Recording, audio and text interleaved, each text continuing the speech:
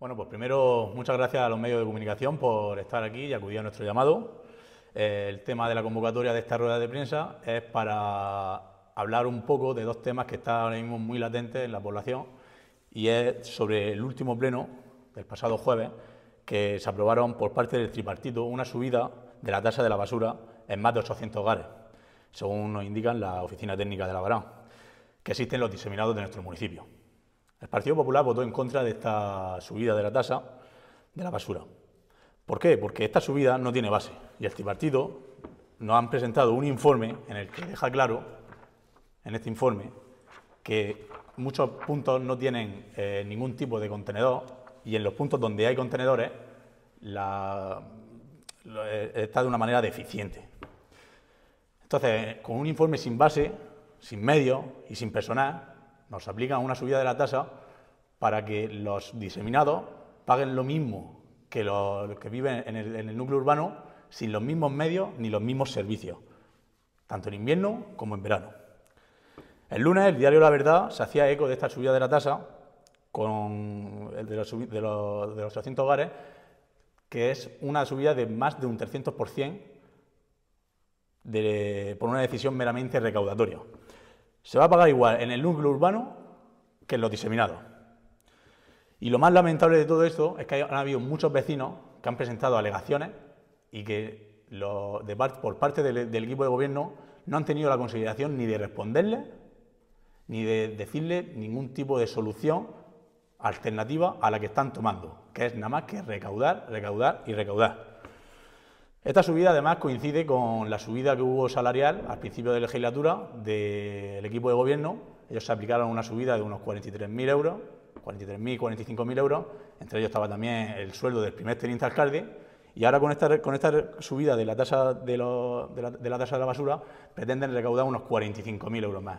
La verdad que las dos, subidas coinciden. Por otro lado, dicho también por nuestro alcalde, eh, la nueva ley de residuos y suelo contaminado que establece un tributo estatal por el cual tendremos que pagar más por la gestión de los residuos, él dejó claro que pagábamos más, pero no dejaba claro que el tributo al final es estatal, es un tributo que nos impone Pedro Sánchez de nuevo en un afán recaudatorio. Eso significa que el ayuntamiento va a tener que aplicar una nueva subida genérica de la tasa, que también afectará a los diseminados. O sea, los diseminados verán subida la tasa por encima del 300% que se le ha subido ya.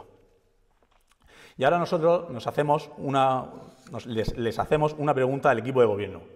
¿Está el tripartido baranero tomando alguna medida para disminuir el nivel de, residuos depositados en el residuo, en el vertedero y así pagar menos impuestos sobre el impuesto estrella de Pedro Sánchez? Y otra, ¿por qué no ha solicitado ninguna subvención de las dos líneas presentadas por la comunidad autónoma, tanto en 2022 como en 2023, para implantar sistemas de recogida de bioresiduos, aceite usado de cocina y textiles? Aquí tenemos también las dos convocatorias de 2022 y 2023, donde vecinos, o sea, donde municipios vecinos han podido acogerse a esta subvención e implantar medios para poder generar menos residuos genéricos y así pues, aplicar una menor subida de la tasa. Nosotros con esto nos, hacemos una reflexión y es que al equipo de gobierno no le importa para nada a los abaraneros y están mucho más centrados en subirse el sueldo que en el bienestar de sus vecinos. Otro tema también que queremos eh, denunciar es la transparencia del equipo de gobierno, con la oposición y con los vecinos de Abarán. No entendemos que aun sabiendo, aun, habiendo sido apercibidos por el defensor del pueblo, por no facilitarnos la documentación, la documentación que es muy necesaria para hacer nuestra labor. Nuestra labor es el control a la gestión del gobierno pues no entendemos cómo, habiendo sido apercibidos por el defensor del pueblo, aún siguen sin dárnosla. Y también hay muchos vecinos que tenemos constancia de que tampoco se la, están, dando y también están en manos del defensor del pueblo. La ley reguladora de base del régimen local dicen que nos que tienen que responder en un máximo de cinco días y darnos la documentación. Pues todo lo contrario. Tardan meses en darnos la documentación. Cuando nos la dan, nos la dan incompleta y siempre, casualmente, nos la dan dos, tres, cuatro días antes del pleno, para luego poder llegar al pleno y decirnos que nos la han dado. La última medida que han tomado ha sido decirnos dos o tres días antes que podemos bajar al ayuntamiento con un técnico a verlo. O sea, ya no nos dan ni las copias que solicitamos. sino que nos dicen que tenemos que bajar. Es seguir poniendo traba tras traba. Por estos motivos tenemos que preguntarnos, ¿qué está pasando en el ayuntamiento? ¿Tienen algo que ocultar? Esto se contradice con el alcalde, que siempre alardea de ser el gobierno más transparente que ha existido en Navarra. Nosotros decimos que es el gobierno más opaco que ha existido en Navarra. ¿Cómo es posible que nadie sepa lo que se ha gastado en, en desde abril de 2023? ¿Cómo es posible que ningún ciudadano pueda tener constancia de que su, de su dinero, el dinero del contribuyente, ¿a dónde, ¿a dónde va? ¿En qué se gasta? Nadie lo puede saber. ¿Por qué no actualizan la página de transparencia como lo hacen los demás ayuntamientos? Yo me meto en muchos ayuntamientos, en muchas portales de transparencia y todos van cargando sus su ordenanzas, sus listados de facturas. Aquí no habrá nada. Temas tan importantes como los que tratan en el asunto de urgencia, sin darnos tiempo a, estudiar en profundidad la documentación, por ejemplo, el tema del polígono, una modificación del suelo industrial, nos hacen un pleno extraordinario y urgente y nos cargan la documentación 24 horas antes. Que un propio informe de la secretaria dejaba constancia que a ella se le habían descargado la ella había visto la documentación, había tenido cuatro días para revisarla, ella decía que no había tenido tiempo para poder revisarla a tiempo, para poder hacer un informe favorable.